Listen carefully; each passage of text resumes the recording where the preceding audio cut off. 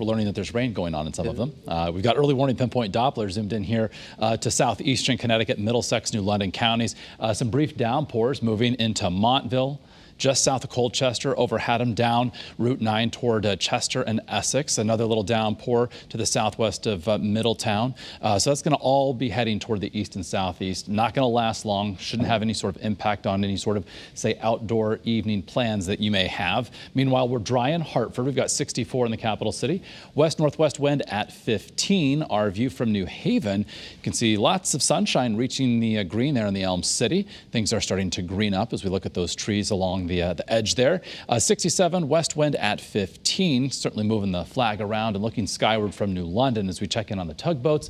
Uh, more clouds than blue sky at this point. The temp right now at 68 degrees. So warmest along the shoreline because the wind is off the land as opposed to off the water. A big change over the past couple of days. Meanwhile, elsewhere inland, we've got 50s in the Northwest Hills and 60 to 65 elsewhere. So uh, that wind west northwesterly right now sustained between 15 and 30 miles an hour. So the wind will be a factor this evening, uh, and it is sending some slightly chillier air into the state. So the, the worst of, say, the cold and the wind comes tomorrow morning as temperatures dip into the upper 30s and low 40s. But then after that, uh, conditions improve markedly for the rest of our Saturday and as well for Sunday. So we've got this big area of low pressure moving up across the Canadian Maritimes, uh, swinging a series of cold fronts in our direction. So that lifts away as high pressure from the west builds in. So that's why the wind will start to subside as we head through the day tomorrow. So futurecast, as we head through the overnight time frame, there is a chance with a little disturbance pivoting through for a rain or snow shower while we're sleeping.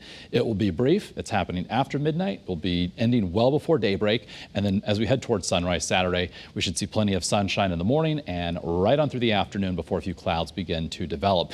Then another little disturbance moves through tomorrow night. That could touch off a sprinkle and isolated shower again while we're sleeping. So the daylight hours of both Saturday and Sunday right now looking pretty good. Sunday, however, will feature more clouds than tomorrow. We'll say a mix of sun and clouds. There could be times where on Sunday there are more clouds than sunshine.